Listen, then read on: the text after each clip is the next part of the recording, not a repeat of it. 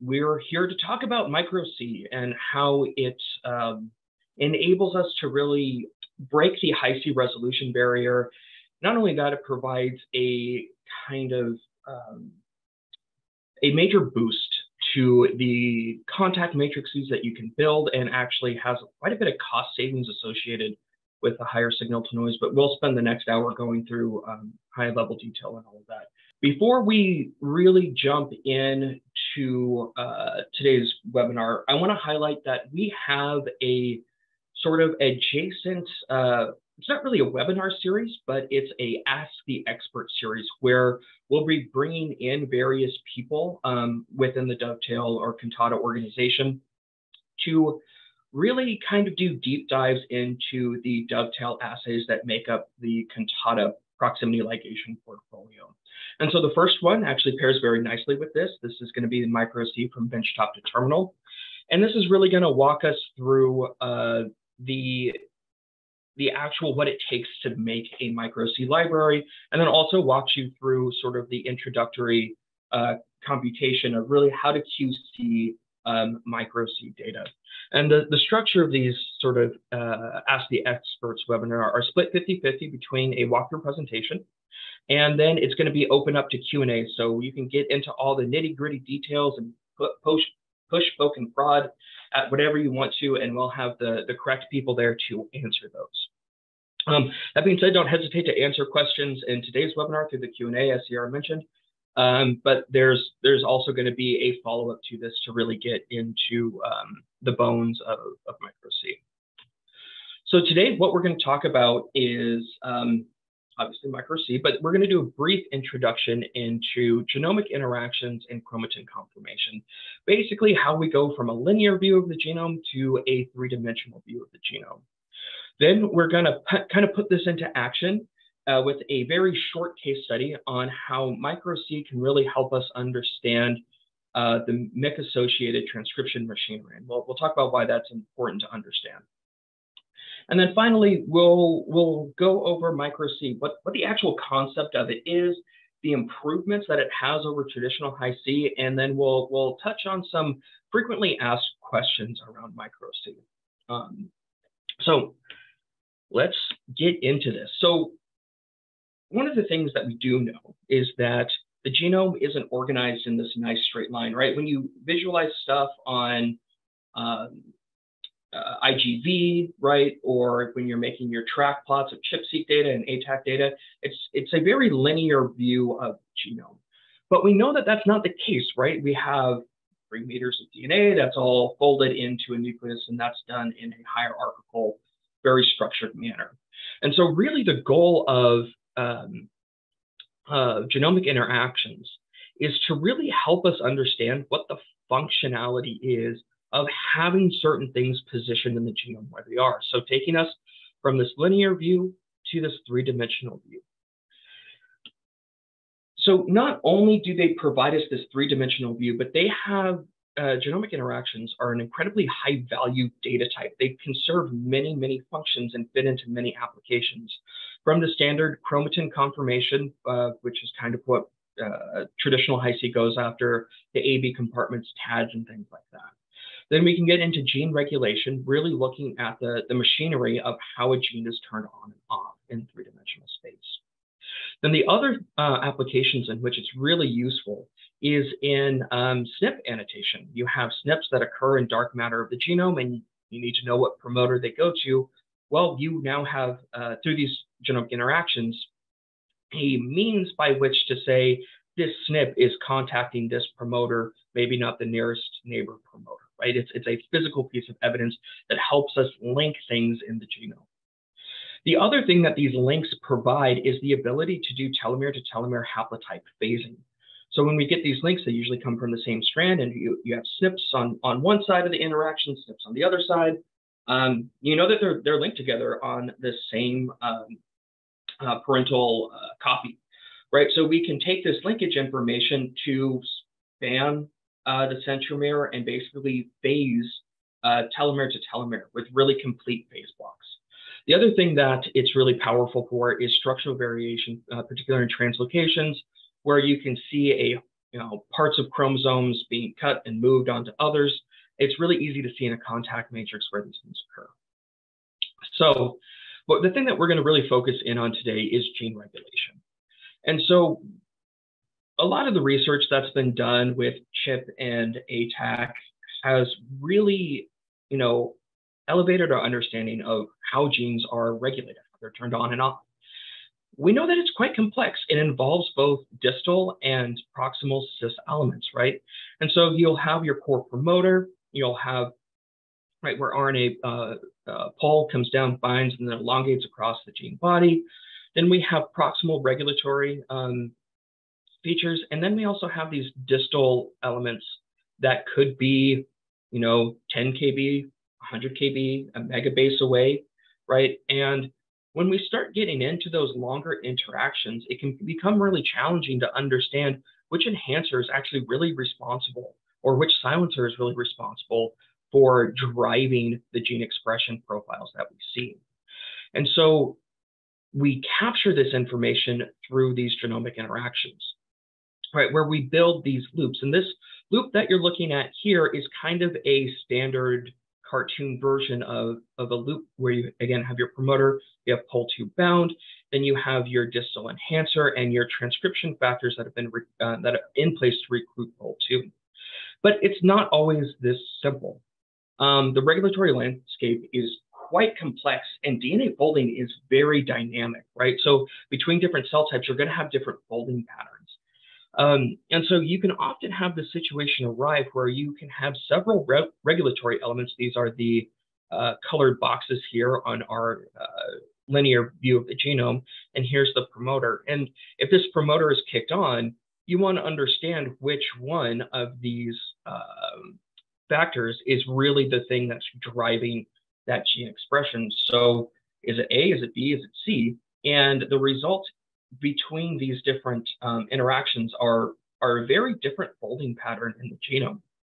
And so um, proximity ligation um, or micro-C, high chip, things like that are ways by which we can capture the correct folding information to tell you it's factor A or factor B or factor C. Now, in real life, this sort of um, factor hopping uh, happens quite frequently. So here's just an example where we're looking at um, a, a wild type in a treatment control or a treatment of, uh, uh, of a mouse model that has been um, impact or has been treated to impact acetylation activity. What we can actually see here between the acetylation um, coverage, this is uh, ChIP-seq, is that we can see that the, the actual patterns of where uh, H3K27 uh, has been acetylated is quite similar between the two.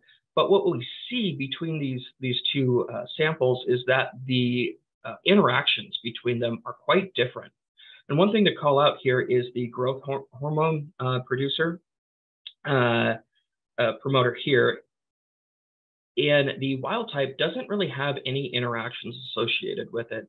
Well, in the treatment, we actually see that it has a, a link with this enhancer region um, all the way over here. So it hops the two nearest um, enhancer marks to, to engage with this one um, uh, downstream of the promoter.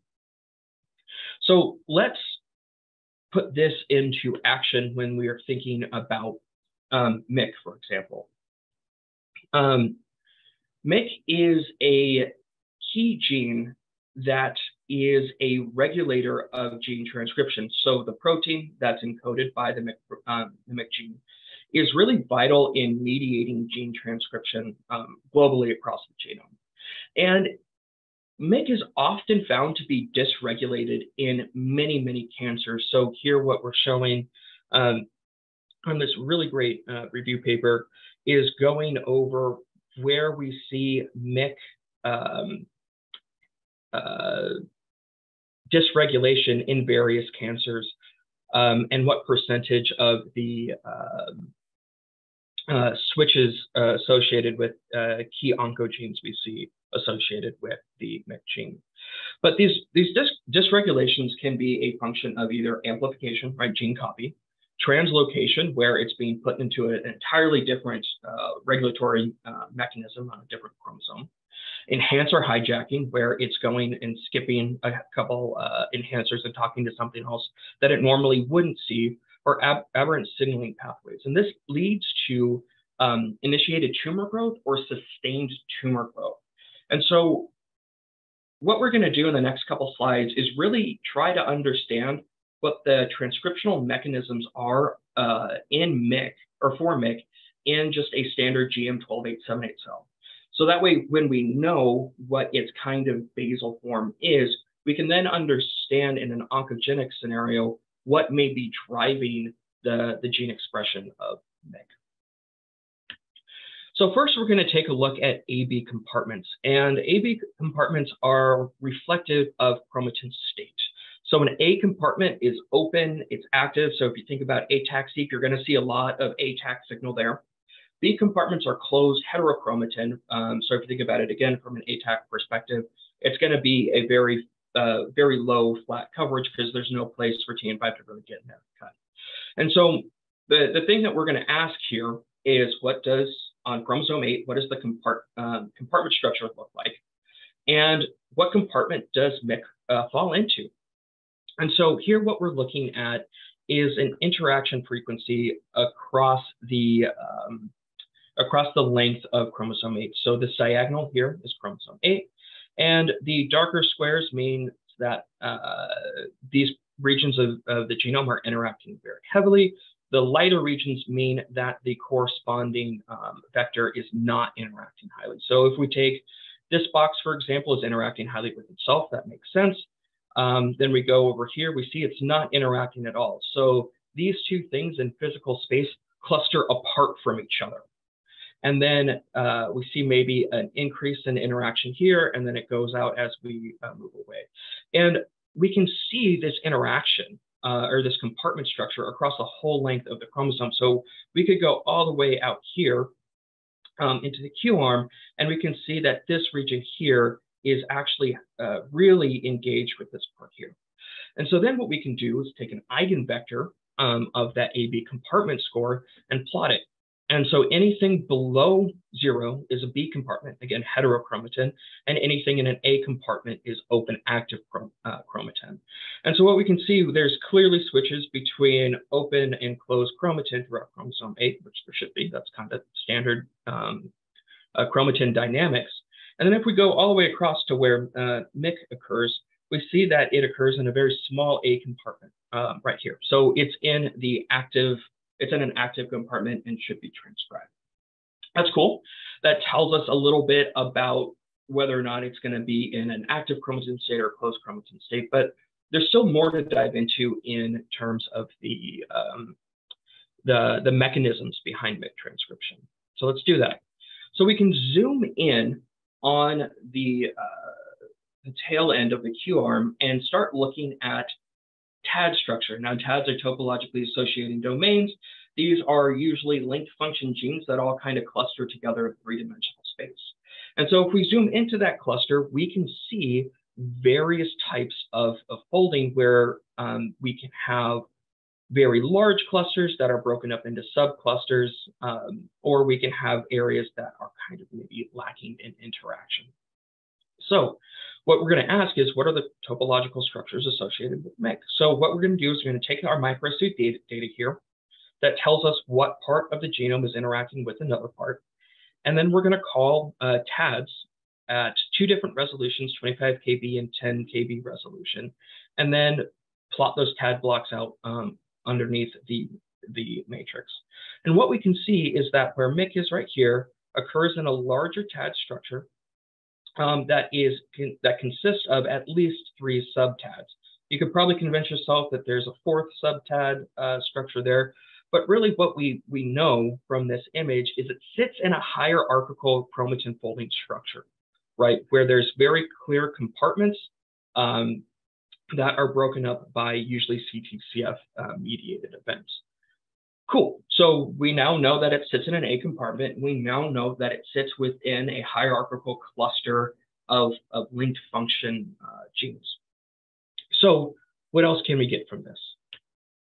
the next thing that we can do is call loops, these chromatin loops where there's strong interactions uh, between uh, two loci. So if we go back to this image here, wherever you see a very bright punctate spot in the matrix, that indicates that there is a, a strong interaction between uh, two loci that are separated by a large linear distance. Now, these, so that means that, well, you know, this thing may be a couple, you know, 100 uh, kb apart, right? Or maybe 50 kb apart. In linear space, they're, or in, in three-dimensional space, they're right next to each other. So we can go through and call those dots or those loops from the contact matrix. And so the questions that we're going to ask here when we're doing this sort of loop calling experiment is, are there chromatin loops associated with MYC, right? It's a very simple question to ask. And then what we want to do is really understand what are these loops actually doing? What are the regions that, um, that are linked with MYC? And so what we can do is we typically call loops at several resolutions. Um, here we did it at uh, 5 kb and 2 kb resolution, and we can see there's very, there's four distinct loops that are being called um, associated with MYC. Here's the MYC gene, and we go across again. Here is the reference genome on the diagonal. There's a loop here, loop here, loop here, and one way out here. So that's cool. We know where the loops are, but we don't really have enough information with just the loops alone to really tell you what it's doing or what it's engaged with. So to answer that particular part of the question, we need to pull in additional data. So now we'll go pull in our RNA-seq and our ChIP-seq data for promoters, enhancers, and uh, transcriptions of pol activity. And so um, all I'm simply doing here is plotting the MYC matrix along with the TADS. We're looking at the RNA signal. So again, RNA, or, or the, the MYC is expressed here. Then we're looking at the uh, promoter regions, or the active promoter regions. So we see that there are two active promoters in this region. Here we see a, um, a kind of cluster of enhancer activity, right? So there's a lot of um, H3K27 acetylation that's happening within this region. And we see that POL2 is in fact bound to the MYC promoter and is elongating the gene. So now what we want to understand is what are these loops doing, right? What are they linking? And what we can see here is if we go through and walk across, we see that, okay, it's the, the promoter is in touch with, is in touch with this enhancer and this enhancer as well as this enhancer mark. So all we're really doing is going up, drawing a line and coming right back down, going up from MYC, drawing a line and coming right back down. So we can clearly see what it's engaged with. There are more informatic uh, savvy ways to do this, which is actually where I've actually been able to annotate, where you just simply intercept the loop anchors uh, with your uh, with your enhancer sites. Uh, it's it's it's actually a pretty. It's a bed tools intersect um, function. One thing that is interesting is this loop down here, this loop anchor here, is not really uh, associated with any factor. So we might want to pull in say CTCF uh, chip data to see if this is involved with a chromatin boundary or something like that. So we can go from the very large scale, uh, the whole length of the chromosome, and talk about whether or not MYC is associated with a open or closed compartment. Then we can go in and see what, what the hierarchical structure is associated with MYC. Then we can call very specific interactions that are linked with the MYC promoter and then incorporating or integrating other data types with the, the loop calls from the micro-C data, we can now annotate what enhancers are engaged with MYC to help drive gene expression. Maybe what you want to do next is go through and maybe try to delete out those regions that encode for those particular enhancers and see what the impact on um, the uh, uh the expression of MYC looks like. Um, the other thing that, that you can now think of is now I know what enhancers are typically engaged with MYC. So now if I see a different enhancer promoter interaction profile, maybe it's it's something to investigate further in terms of oncogenesis. So that's just a very brief case study in how I could take micro-C data and kind of walk all the way down the line to get really nice enhancer promoter um, uh, annotation and details around what, what's driving the MYC transcription. All right, now we're just going to do a an overview of micro-C. I just showed you one, why proximity ligation and 3D genomic data is important and how it can be used. Showed you a case study of how micro-C can really help us understand the transcriptional landscape of, of a particular gene or genome-wide. Um, and now let's kind of talk about why micro-C is the right approach to, to do that. So at the core of the of Cantata's dovetail um, proximity ligation portfolio is proximity ligation. Now, this is, if you've done high C before, if you've done high chip before, 3C4C, this should look familiar to you. We don't do anything crazy. We start with cross-linked cells. This preserves the native 3D genomic interactions. Then what we do is we fragment, and this is where um, Dovetail kind of separates itself from traditional Hi-C uh, approaches because we don't use restriction enzymes, and we'll we'll talk about that quite a bit here in a few minutes. And the, our ability to use something like MNase really sets micro-C apart from any other approach to Hi-C that there is. And so once we have these fragments, then we do proximity ligation, just as you would normally do proximity ligation. We clean uh, the, the DNA of those crosslinks, and then we convert um, the ligated molecules into a library. One thing to point out here, there's no sharing involved. All the, the, the, fragments are so small and so uniformly distributed across the genome that we don't need to shear. And what that also does for us is it reduces a lot of the noise signal that's introduced in Hi-C. So um, there's two points where, where noise is introduced into uh, restriction enzyme-based Hi-C. One is the restriction enzyme itself. You'll, you'll, uh, I'll show you where you stack your reads and bias your data towards um, uh, restriction enzyme motifs. And then in the second is when you sonicate, you introduce a lot of invalid Hi-C pairs that things like Juicer, Hi-C Pro calls as invalid because they're not informative of topology. But with standard Hi-C, you have to shear because your molecule lengths are so variable and you have to get that thing down into an 800 to 300 uh, base pair fragment to put on a sequencer. And so if you have a 1 kb and a 500 base fragment that have ligated together, that's 1.5 kb. You have to shear that if you want to include that into your library. So really, we're doing proximity ligation. We're just doing a proximity ligation that's really dialed in to capture the building block of chromatin, which is the nucleosome, right? When we think about how chromatin behaves, we really want to focus on nucleosome position, right? And what, what those things are actually engaged with. And so here is just a, a kind of schematic. This is the concept of micro-C, which is you have nucleosomes fairly uniformly distributed across the genome right? And then we fragment there. So all of our coverage profile falls where nucleosomes are, are, are occupying that space. Then what we can do is we can build fragment, or when we when we fragment, this is the fragment size. They're all mostly mononucleosome side, maybe a little bit of linker DNA here and there. Um, but we get a very uniform fragment size throughout the genome. And then we're doing proximity ligation. So this this sort of hodgepodge of, of, interactions. These are all of the possible interactions that micro-C can capture. As you can see, it's a lot. And they range from very short, so um, uh, n plus one, n plus two, n plus three, we could capture those interactions very readily, but we can also capture these super long interactions as well.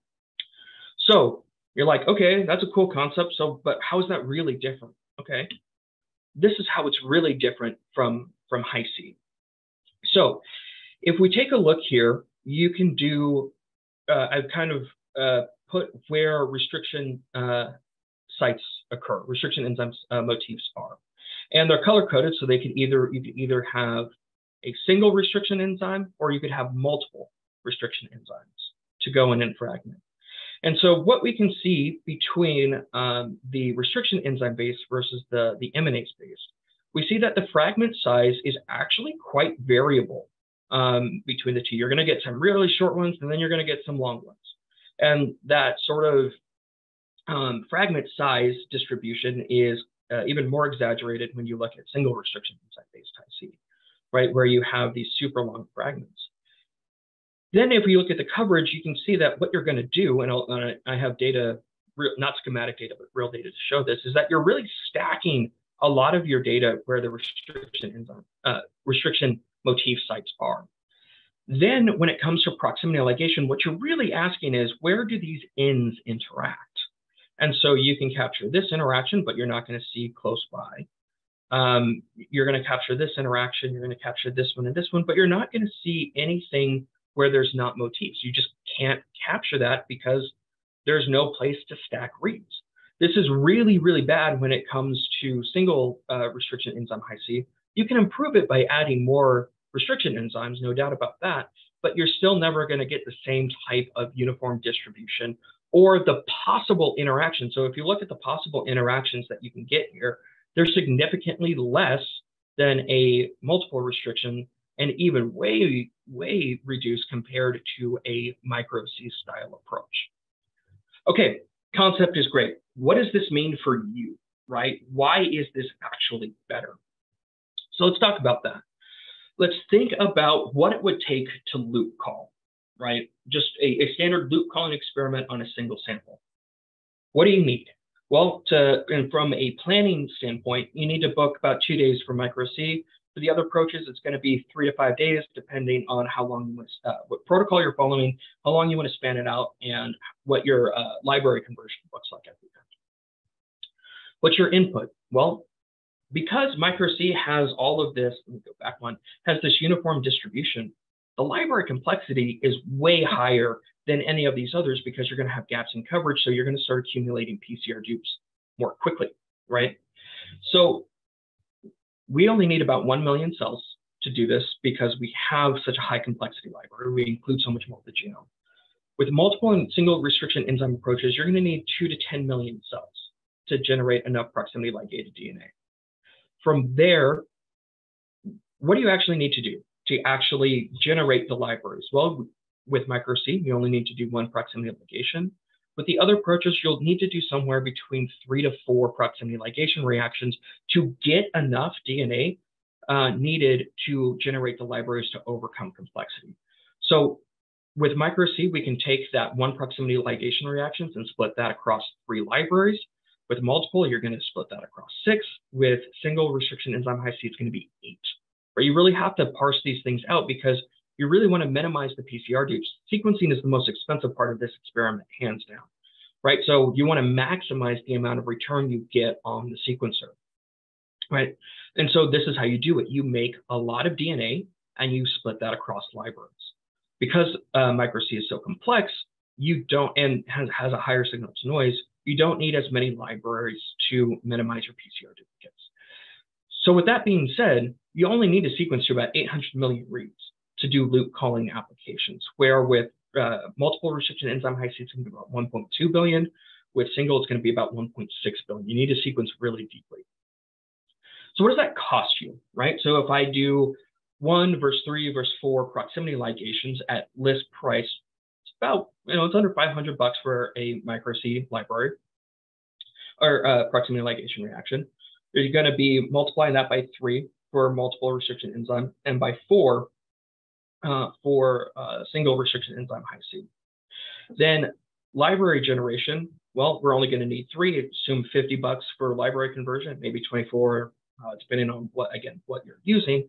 But this is going to be 150 bucks versus um, 300 versus 400. And then sequencing, this is where kind of the rubber meets the road. Because we're only sequencing 800 million read pairs, if you're doing for this use case, a NovaSeq 600 uh, SP 300 cycle, it's about six uh, 6,600 bucks for 1.6 billion reads. So we only would need to sequence half of that for MicroC. So you're only spending $3,300. Where with the other approaches, you're going to be using most of that flow cell uh, to get the data needed to loop call. So the total cost, you're coming in at under $4,000 to loop call on a sample where you're going to be, you know, closing in on almost a full NovaSeq lane or a NovaSeq lane plus quite a bit more, almost 10K to do a single restriction enzyme Hi-C. Now, with this reduced sequencing and reduced cost, you're not sacrificing anything on discovery rate. So I can call TADS at 5 and 10 kb and loops at 5 and 10 kb. And what you can see here is that the, the discovery rate for these features is significantly higher at any given resolution with lower sequencing than, than any other approach, right? So loops at 10 kb, we're getting 3,500, right? We're, or sorry, uh, TADS 3,500, 3,500, 2,000. TADS has kind of like a, a, a minimal resolution, so they're really easy to pick up. Now, when we get into loops, if I call loops at 5 kb with micro C, we're at over 8,500, where you're not even touching 5 5,000, or uh, you're not even touching 2,000 the single restriction enzyme Hi-C. And this carries through at, at 10 kb as well. Now, this is really apparent if you just look at the contact matrix quality. The micro C contact matrix quality is much more complete, has fewer stripes and missing uh, gaps.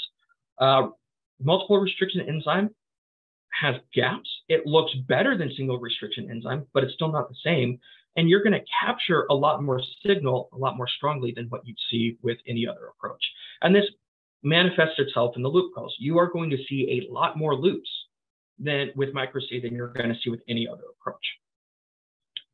So let's look at the, the matrix detail um, uh, in a bit more in depth, right? So if I take just two um, two regions of the genome and I look at loops that have been previously called by that al. You know, they did three point some odd billion reads with Hi-C.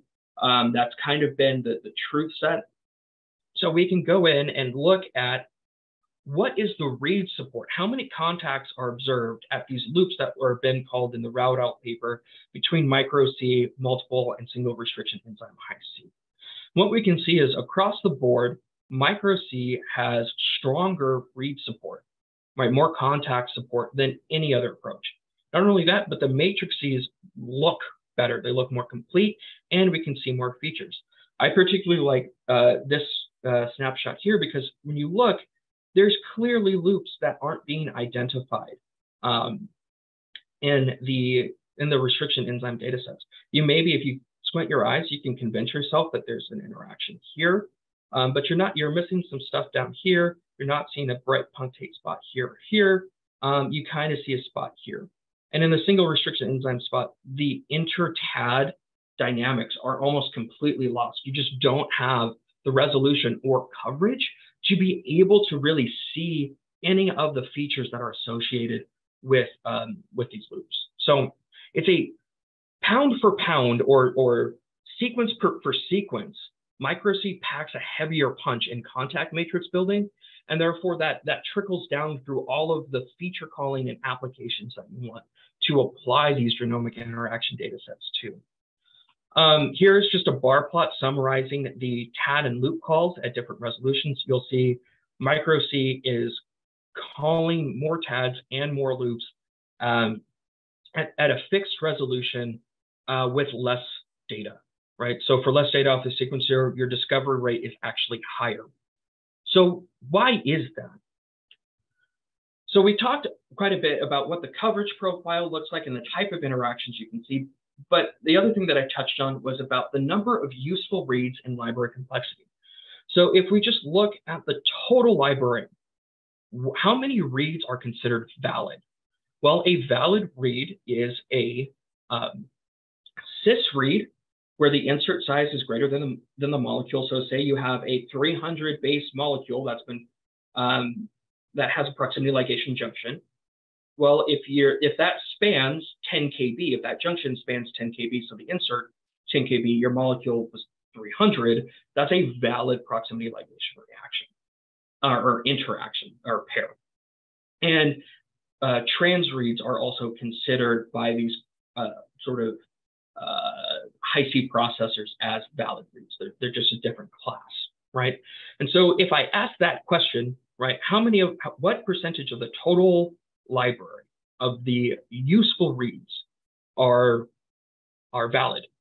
We get over 90% of our reads. And we actually see a lot of customers in the 94 to 95% of, of the reads actually come back as high quality topology informative reads.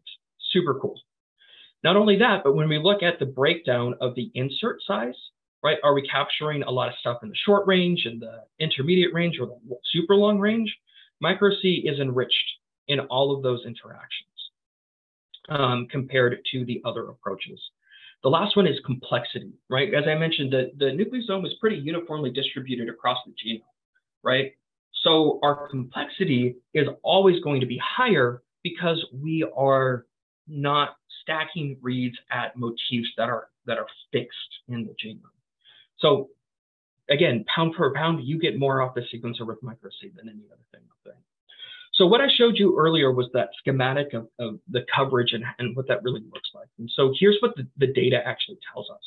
So if we aggregate the coverage signal around, say, CTCFs, we can see that MicroC is able to position and phase nucleosomes um, relative to CTCF, where you're not going to see any sort of uh, biological feature when you aggregate around that. You're basically asking, where are the res restriction motifs in reference to a CTCF when you aggregate that signal? Now, if I just plot a track, right, this is data straight out of IGV. Um, you can plot and you can see that where MicroC has very uniform coverage, you might have a little gap here and there uh, for where a nucleosome isn't, um, but we, we do retain quite a bit of coverage off the genome, and it's fairly uniform. Whereas with multiple restriction enzyme, we start to see larger gaps, larger dips. We see places of over-enrichment and clear places of under-enrichment. And that is even further exaggerated in single restriction enzyme Hi-C, where you see a lot of stacking at restriction sites and very large gaps in restriction site deserts. So no matter how much sequencing you do, you will never be able to recover this particular section in a matrix. You have to have reads that fall into this region in order to incorporate it into any sort of conformation analysis. And with a gap like this, you're just never going to be able to cover it. So the uniform distribution of nucleosomes really helps us cover more of that genome as well as increases our signal to noise. Now, if we were to take this particular image and turn this into a contact matrix, we can see that MicroC enables us to phase nucleosomes not only in linear space, but in that three-dimensional space in contact matrices, where we can see that, say, CT, sorry, CTCF is a boundary to uh, interactions. And so we see nucleosome uh, plus N plus one from the CTCF interacting with uh, N plus two, N plus three, N plus four. Super cool. And we see very little interaction going across that CTCF boundary. Now you can kind of see that CTCF boundary I need more coffee apparently, or maybe less coffee. Either way, um, we can kind of see that there is a boundary there, um, but you kind of have to squint and convince yourself that it's there. Um, but you're not really seeing any biology when we take a look at this. I should note that these uh, matrices are aggregated at a one base pair resolution. So this is the highest resolution you could possibly build these aggregates on. And you can clearly see that we're capturing the native biology of the cell, where uh, with the restriction enzyme, you're not really capturing the chromatin dynamics, you're capturing restriction enzyme uh, motif dynamics is really what you're capturing. And so as I did earlier with MYC, you can really easily integrate the MicroC matrices and the features associated with those matrices like loops with all of your ChIP and ATAC and RNA data that you have um, previously generated to really link particular promoters um, to enhancers uh, that may be driving their expression. So it, it's a really powerful way to annotate those enhancer promoter interactions at a significantly reduced cost compared to other high C approaches. Um, I'm, I'm done with the, the main bulk. I'm going to spend the next few minutes talking about the FAQs associated with this.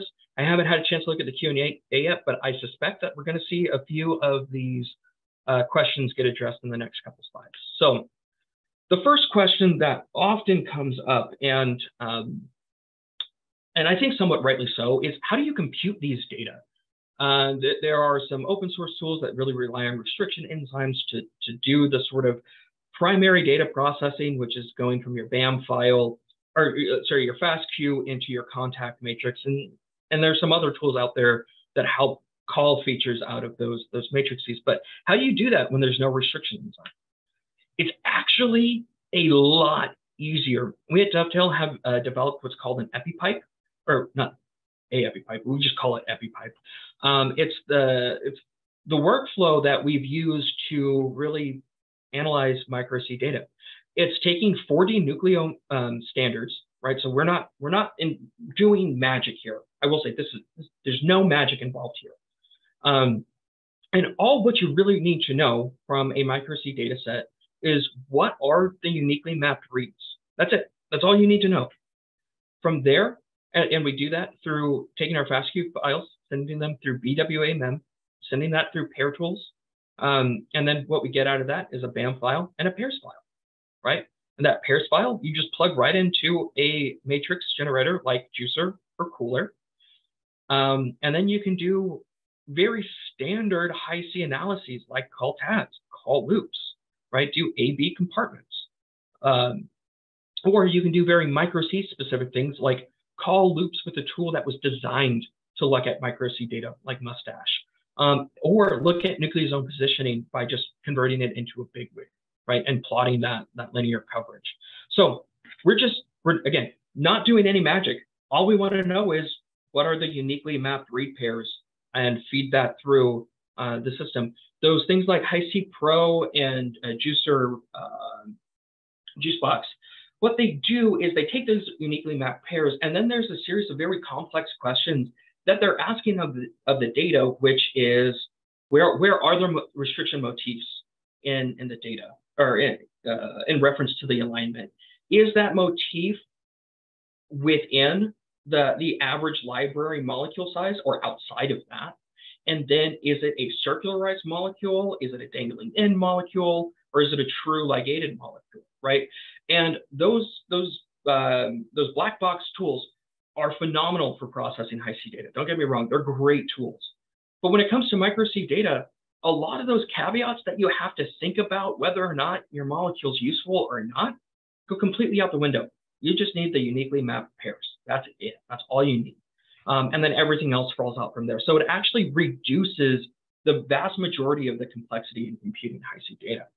So if you're going the service route with us and, and, sending your samples to us to pipette and generate the data, this is what we give you back. These are the deliverables associated with the, the EpiPipe run. If you want to do it yourself, we have these great read the doc tutorials. You know, it's like you could fish for someone, you could teach them how to fish, or you could teach somebody to teach themselves to fish. Um, our, our approach is to, to teach people how to teach themselves, right? And so these are very, very detail orientated walkthroughs with test data that walks you through, you know, what you need to do to prep um, to, to process these data. Do the alignment, do the pair generation. How do you QC? Generate the contact matrix and feature call. Do how do we how do we call AB compartments, TADS loops, things like that.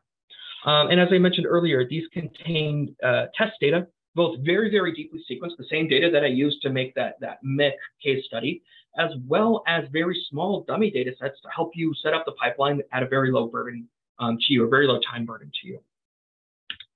The next question that we always, always, always, always, always get is how does microC data behave at nucleosome-free regions, or these NFRs?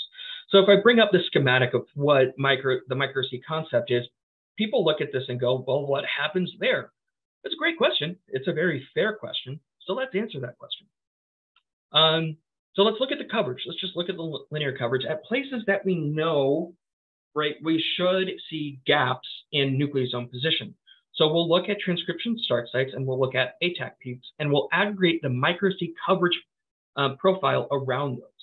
And if you look at the transcriptional start sites, you see boom, right before the transcription start site that the nucleosome goes away, which is supposed to, right? In actively transcribed genes, there's no nucleosome right at the n, n minus one of the uh, of the transcription start site. So we see that, boom, perfect. Um, and then at the ATAC peak, we also see that uh, just upstream of that, we see a dip in that coverage. But let's look at the y-axis for a quick second. This is a very narrow window of the y-axis. If we actually plot the full range of the y-axis, we see a dip and then we see it continue. So on average, we're not actually losing signal. We can detect that that nucleosome isn't there, and we can detect the N plus one, plus two, plus three, yada, yada, yada, down from that transcription start site. But it doesn't, on average, that coverage doesn't go to zero. And I can ask that question, what does the what does the per base coverage look like in um, in the genome? So I take the whole genome and plot, well, here's my per base coverage. This is what the, the distribution of coverage looks like, where X, uh, coverage in X is on the X conveniently, and number of bases divided by total bases in region um, is in is in the Y. And what we can see is we have a very normal distribution. In ATAC peaks, we actually have slightly higher coverage. We do see um, a maybe longer tail here going into the zero, but we do see coverage there. Um, and so that's that's really good to see actually. Finally, if you think about what this means for your contact map, think about what you're actually doing when you're building a contact map. You're building bins out of the genome. You can build it at 5 kb, 10 kb, or sorry, 10 kb, 5 kb, 1 kb, right? And so if I ask, what's the mean ATAC peak width? How many bases makes up an ATAC peak? On average, it's 790. Um, so when you bin at these resolutions, you're not really missing the the the the impact of the nucleosome free region isn't really going to impact the coverage across the bin, which is really really nice to see. Um, so that's kind of that's that's microC behavior over nucleosome free regions. The one of the last big ones that we often come um, up against is the original microC paper was was really designed to look at chromatin fibers, right? So these really short interactions that were that were kind of spanning this, you know, maybe zero to two kb region, and really looking at how nucleosomes, like a cluster of six to ten nucleosomes, are actually interacting with each other. Um, it was a phenomenal paper um, but they realized that that was really only good for very short interactions. There are newer protocols like MicroC-XL that use different cross-linkers that really preserve that long-range interaction and build a much, much more robust matrix. So when you do the proximity ligation, you're capturing a lot of data. So as I showed you earlier, MicroC captures more loops. Well, then the question is, if, if MicroC truly is only capturing smaller interactions, right? Are these loops smaller? The answer is no. When we plot loop size, we see that they're almost the exact same size as micro C, or as, as multi-restriction enzyme high C.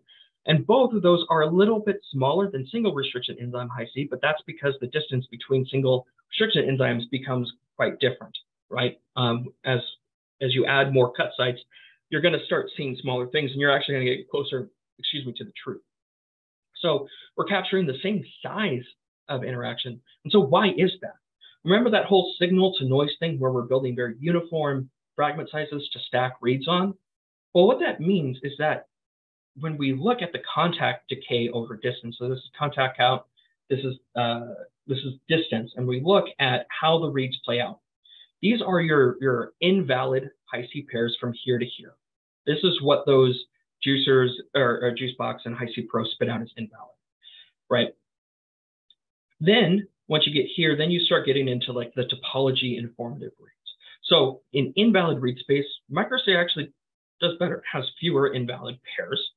Um, and then when we look at, well, where's the mean TAD size versus where's the mean loop size, what does the contact frequency look, look like?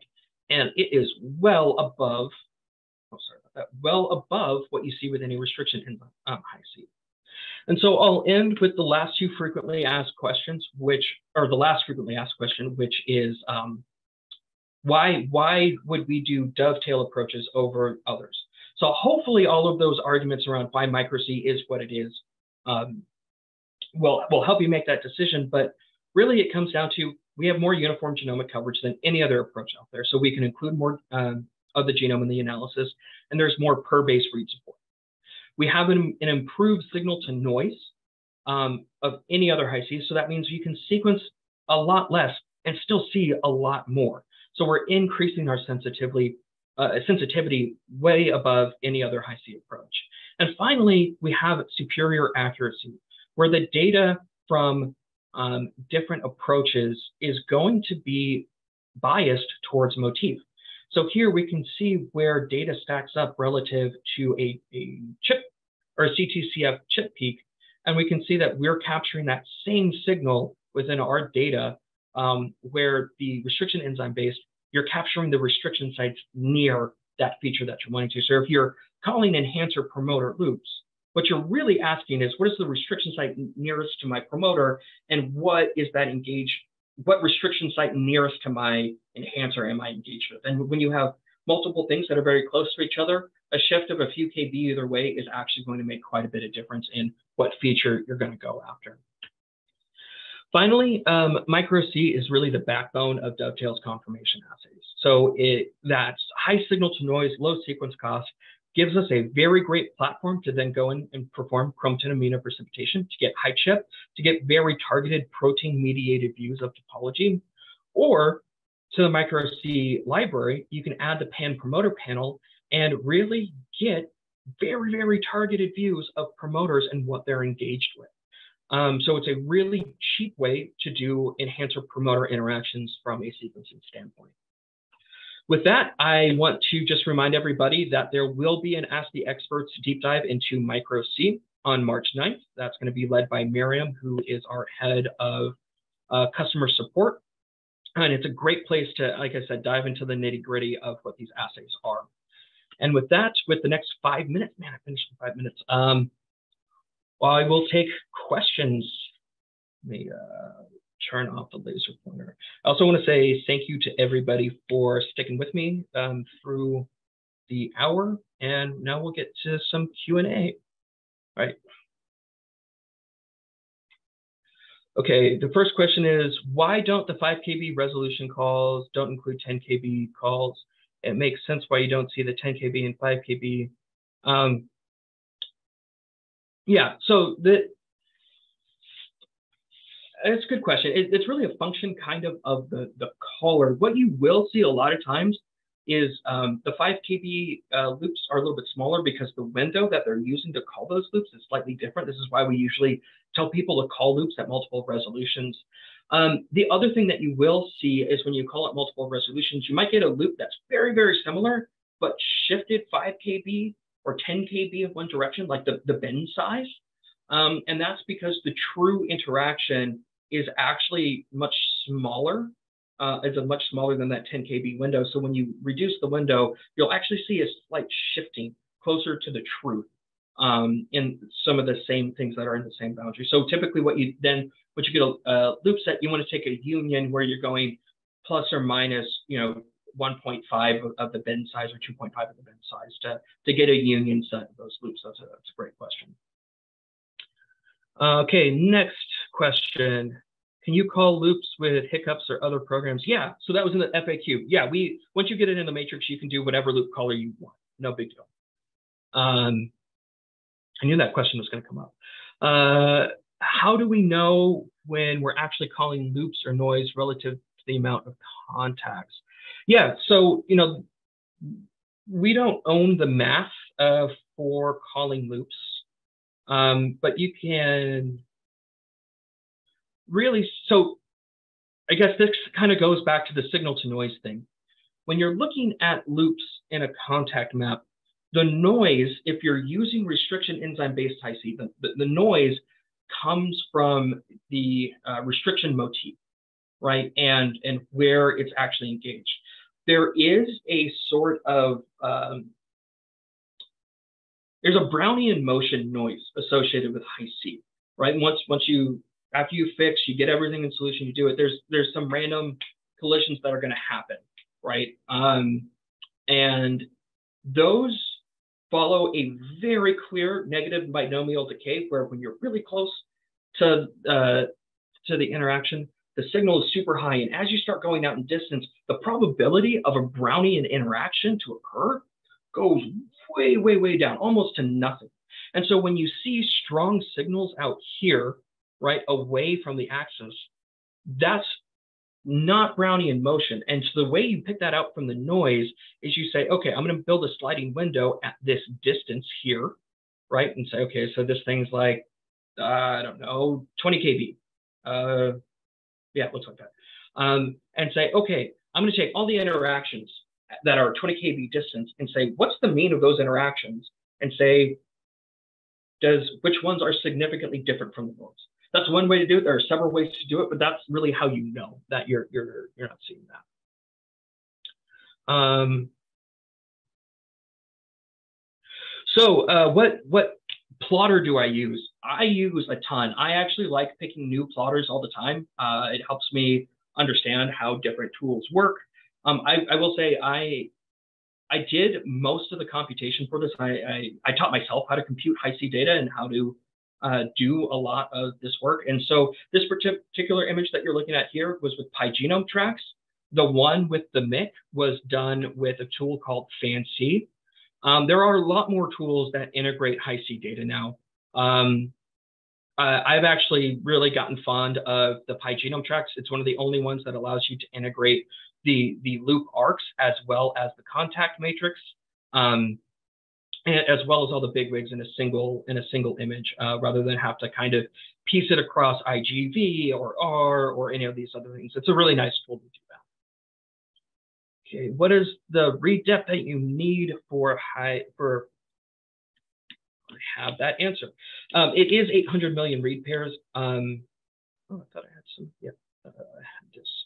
So uh, in this table here walks through um, what how much coverage is needed to do a particular um, function or a particular application like A-B compartments, TADs, loops um, at various resolutions. So at 5, 10, 10 kb resolution, need 80x coverage. So that is,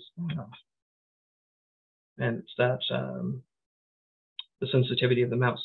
Uh, so you, you need, you know, 80x coverage.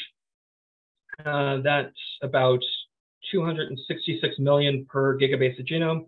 So for the human genome, that's 800 million read pairs. So that's what you'd really need to do that work. As you really start to close that resolution, um, you, you'll need a lot more data to, to do that because you're working in three-dimensional space, right? So it's the it's kind of like the you're looking at the permutation of possible interactions uh, for a given bin size. Okay. Whether you have employed ng capture, see to verify. Yeah, I actually I do have the capture data from MYC. I just I ran out of time to to, to make that plot, but it was in in the plan and it's there. Um, so yeah, I see Sierra's come back on, so I think we might be running low on time. are at times. Sorry, Corey. Um, so we will go ahead and if if you're willing, Corey, I'll I'll let you follow up on some of these questions. Uh, Actually, what what I was going to say is I I have a couple extra minutes if folks want to stay on um, after you close out, I'm happy to, to go through a handful more questions and then whatever I don't get to. It's, it's easier to talk through them than type through them. So I'm going to try to do great. it. All right, sounds great. Thanks so much, Corey, for your time. Uh, thank you all for joining and sticking with us again. Sounds like Corey's going to keep going here. Um, so I will join you all again next time. Thanks, Sierra. Okay, um, answered that question. I've had low So um, one of the questions came up around um, MNase digestion. We do have workflows to help. Um, we do have a standard workflow that works for most sample or for most cell types uh, for getting the digestion profile in the correct uh, size range to do this. Um, we also have some troubleshooting guides if, if you have issues dialing that in. That is actually um, so the, the short answer is we have guides to do that. The probably better answer would be to attend the Ask the Experts uh, webinar here. Um, our customer support specialists are way better at this stuff than I am, so I don't want to want to tell you the wrong thing here. Could you re-explain why splitting the library from proximity ligation? Okay, yeah, this whole chestnut here.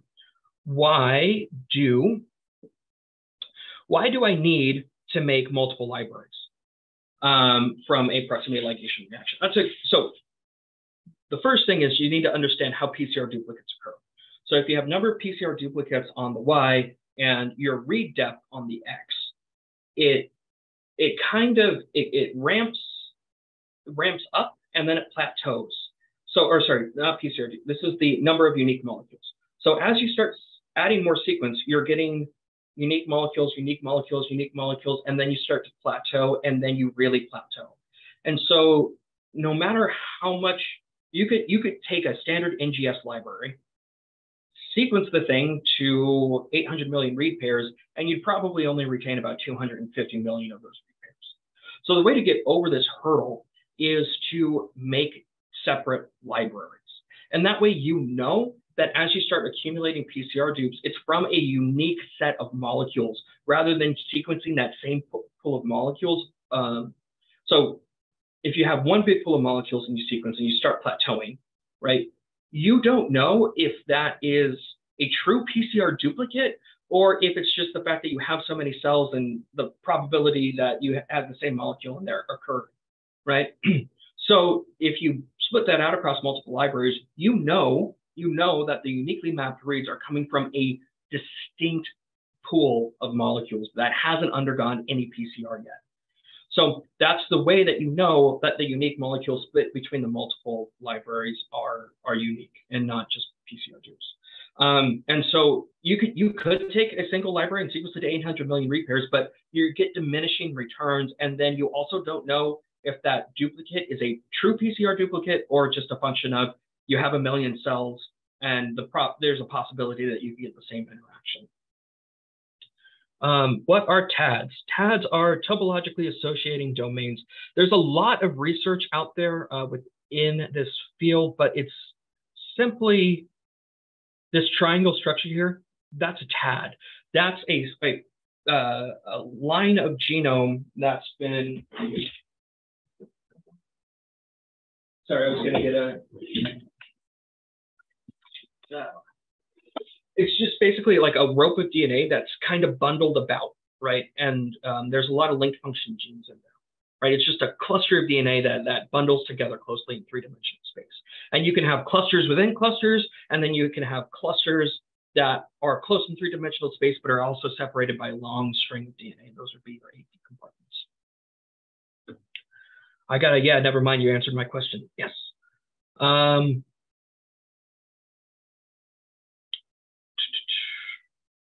So uh, what's commonly used for resolution of and So uh, resolutions for calling different features. Uh, there's no great answer for this. Uh, the question is, what are the common resolutions used to call TADs? I would say 25 KB, 10 KB, 5 KB. I would call it all those three and create a union set. Um, you, you could do it several different ways. You, you can just pick one and do that. Um, but as you can see in the MYC example, right, you, you want to be able to capture that hierarchical, hierarchical sub-TAD structure. And if you just call it one resolution, you'll never see that. So we typically call it several. Um, it also depends on the genome. Like if uh, you have a genome that doesn't have a lot of interaction, right, you may, may, may need to zoom out farther, right? It's kind of like flying in a plane. You fly really high, you can see the whole mountain range, but it's really hard to pick out the house is on that mountain range. And if you fly really low and can see that house, you may be only able to see one or two mountain range, uh, mountains on either side of you, and you'll miss seeing the whole range. So you want to do that at several resolutions um, to, to confirm what you're seeing.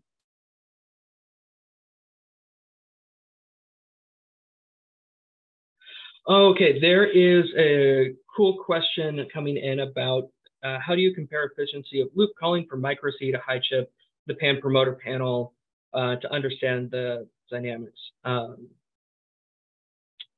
yeah, it's the the the punchline here is that the the algorithms to call loops from a micro C data, from a HiChIP data, and from a pan promoter data set are different. You're asking fundamentally different questions of the data. Um, and so one of the one of the ways that you could think about efficiency is how much sequence do I need to call the feature that I'm looking for? Um, and if you're really looking for like enhancer promoter loops, it really makes sense to target the promoter. So for, you know, if you're doing high C, you'd sequence about 1.6 billion. uh, read pairs and you'd see a handful of loops and a subset of those are going to be enhancer promoter loops. If you do micro C, you do 800 million read pairs and you'll see with something like mustache, like 10,000 loops um, at a given resolution. A handful of those are going to be CTCF mediated. The other handful is going to be enhancer promoter interactions.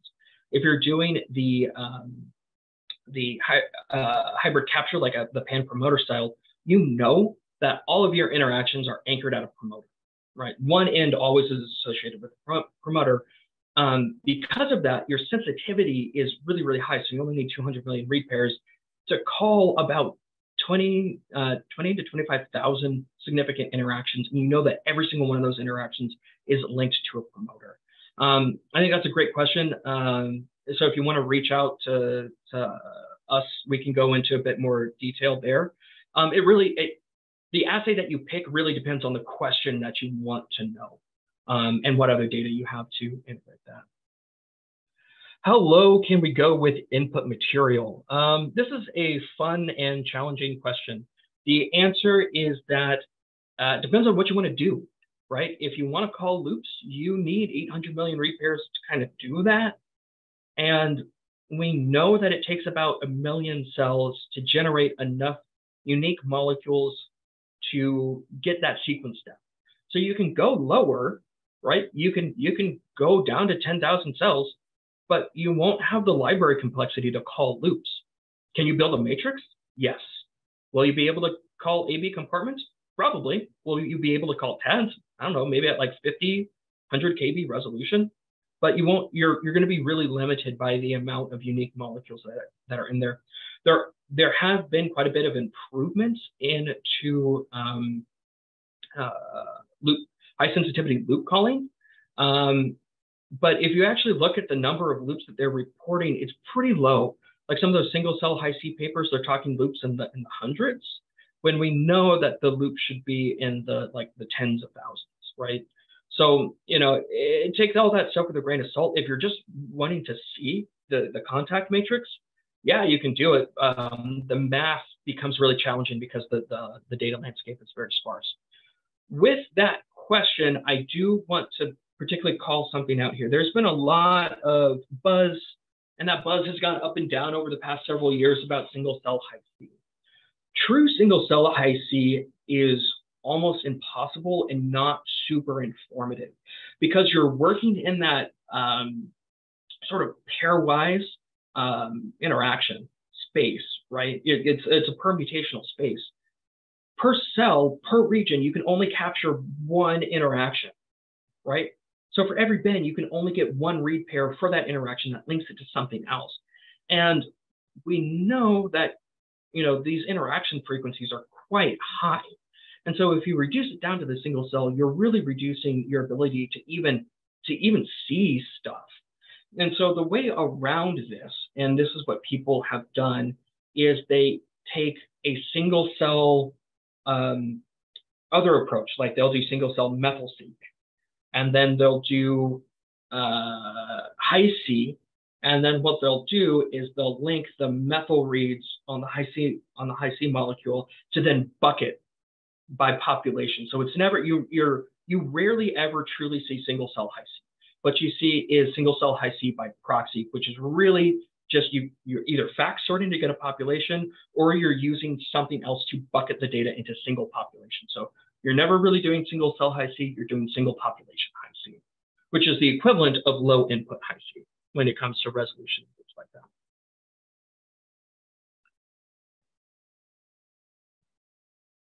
Um, why are we doing the pan promoter panel um, as the standard genome wide? So it's just, it's a different question, right? So with the, uh, let's see, okay.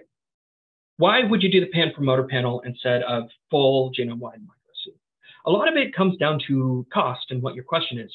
If you if you are in entirely exploratory mode where you have no idea what gene or what feature it is that's going to be different between two samples, you should probably do whole genome micro-C, right?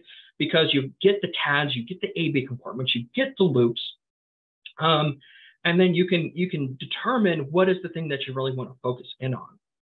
Well, if you already know that there's a handful of promoters or specific regions that you're looking at, there's no need to sequence 800 million read pairs to get the benefit of that interaction. you you can really target your interactions on your promoter. It's a, it's a different question, right? It's, a, it's just a different molecular biology question. Um, what we found is that high sequencing costs can often be a barrier to adopting proximity ligation, right? The days of like the 1.6 billion to 3 billion read pairs kind of put a lot of people off. You know, sequencing is not cheap. It's getting cheaper, hands down, for sure. But it's still it's a lot of money. It's a lot of money towards the experiment.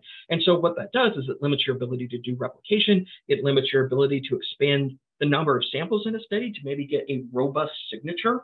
Um, so if we remove that sequencing burden by targeting promoters, which is the thing that people are mostly interested when you're looking at loops, it really reduces the sequence cost. But you don't get the TAD structure, you don't get the AB compartments, you're just getting the interaction.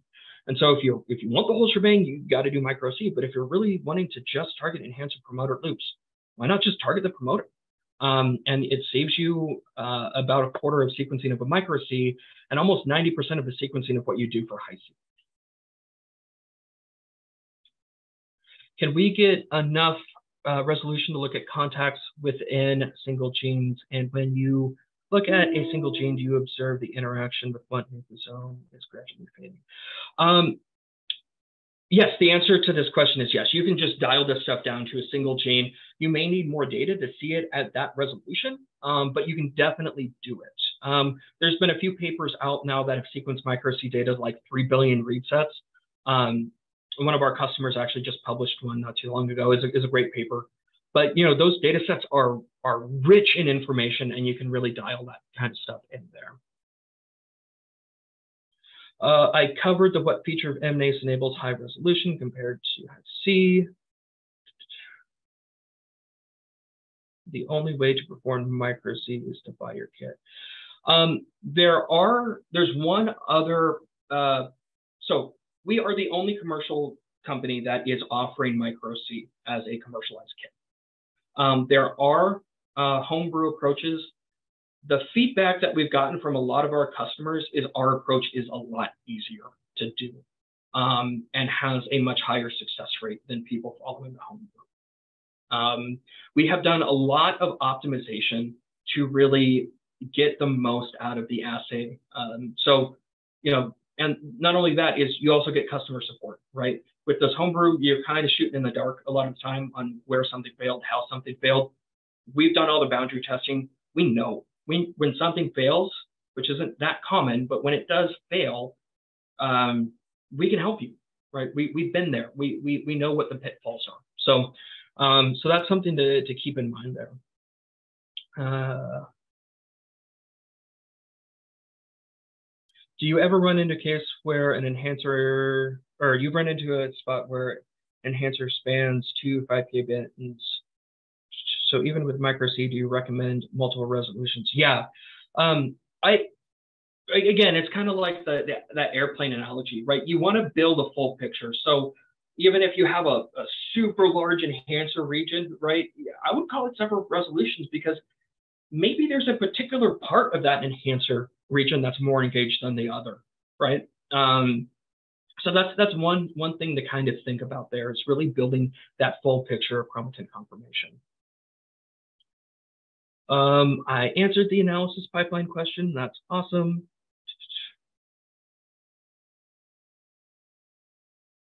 Um, uh, there's a question about normalization. Um, I won't go into detail about that here. There's a really great review paper, paper called um, The Hitchhiker's Guide to Hi-C, and that goes into depth with a lot of the different normalization strategies. I'd, I'd check that out if I were you. Um, did you run an alignment tool to match the MYC? I run an alignment tool to match transcriptional elements to conformation? Um, no, I had not done that, but I do have um, orthogonal data and the, the pan promoter and HiChIP data that, that, um, uh, that captures that. So the original micro-C protocol has 3.5 to 3 million cells, with reducing the number of cells decreased library complexity. And no, actually, we found that it hasn't because we have uh, we've really optimized the yield of the proximity ligation. Um, we find that 1 million cells and three libraries is plenty to do this work. Um, you could you could probably even sequence them deeper if you wanted to. Um, have you measured the reproducibility, reproducibility of TAD calls and different replicates? Um, I've done that with the pan promoter panel for loops, and the reproducibility is crazy high. Um, uh, we do find that reproducibility in general in the Hi-C field is a function of sequencing depth. Um, there are a number of other papers that have looked at that reproducibility. I'd, I'd, recommend you go check those out, but they are a very stable element in the genome and can be picked out pretty easily. Um, we see many gaps in repetitive regions regardless of what Hi-C you're using. Yeah, so, you know, repetitive regions are a challenge for NGS. They just are, right? That's one of the reasons long reads exist is to span those repetitive regions. You're not going to capture the conformation, um, you know, but it really, what what micro-C offers in, in, in, in a different aspect is where does that restriction motif appear on either end of uh, the, of the um, repetitive region, right? And so uh, we see time and time again that when you zoom in on these repetitive regions, we typically get a little bit closer to the, the true start of the repetitive region because we're not biasing the data to where the restriction motif is. But repetitive regions are repetitive regions, and this is short read sequencing. So you're going to have the same problem no matter kind of how you slice that. Um,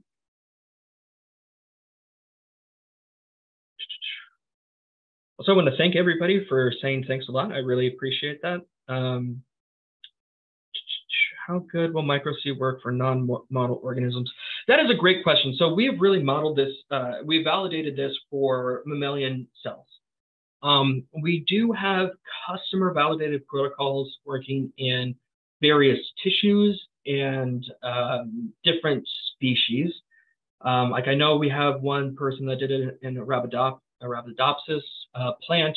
Uh, we have a lot of uh, customers using fly um, as input and yeast. Um, so we have those protocols that we can share with you and also keep an eye out um, over the next year. We're really looking to um, include uh, different different sample inputs into the validated um, bucket uh, so we can we can reach more people who are wanting to do cool stuff on their particular tissue of interest. Is micro-C applicable to various cell lines? The answer is yes. We designed this to work on cell lines, so it will plug and play very easily. Uh, just answered the one for non-mammalian samples, recommendations for trans contact detection. Okay, so we did talk about how trans interactions are, are a true thing that exists in the Hi-C space. Um, and how do you detect those from like the Brownian noise? Uh, there are a few ways to do this. Um, Hi-C Break Finder is actually a, a, way to do this, but you're going to be seeing S. It's really designed to call S. There is no tool that I know of off the top of my head. That doesn't mean it doesn't exist, but I haven't seen one um, that will do this.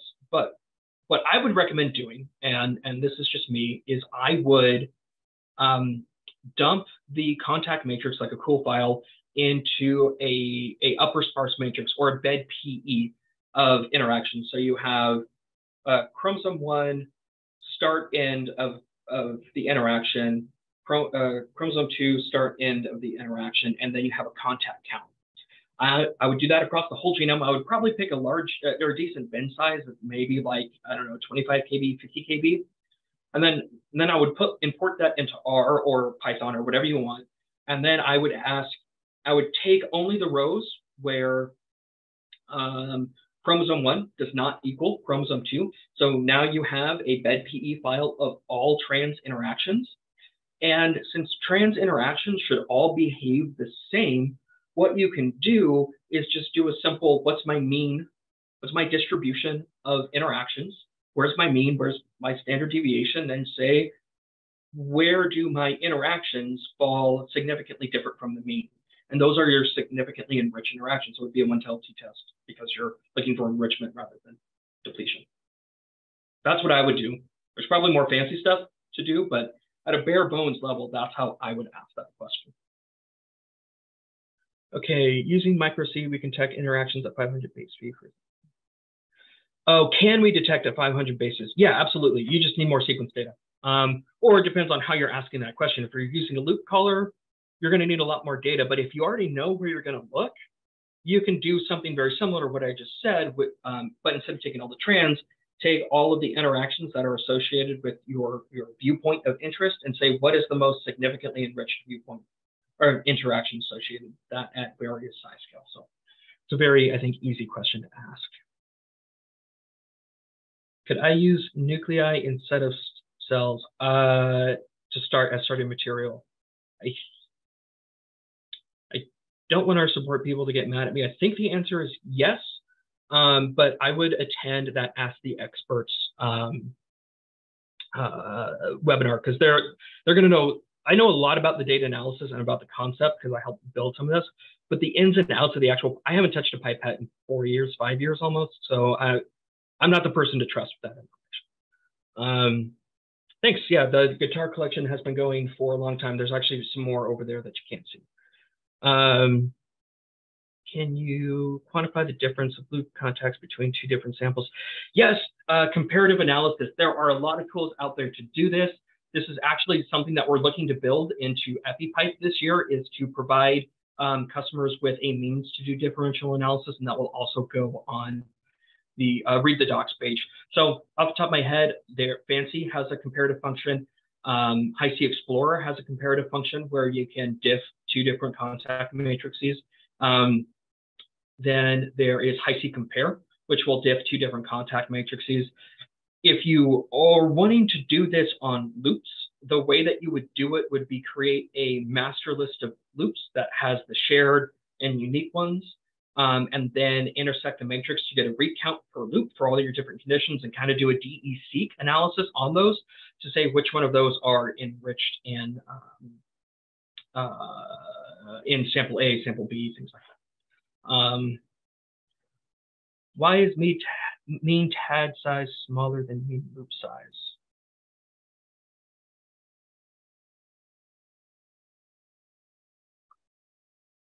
I think that was a typo on my end.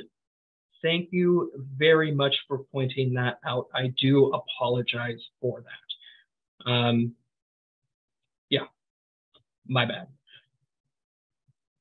Okay. I already talked about the minimum input. Is it challenging?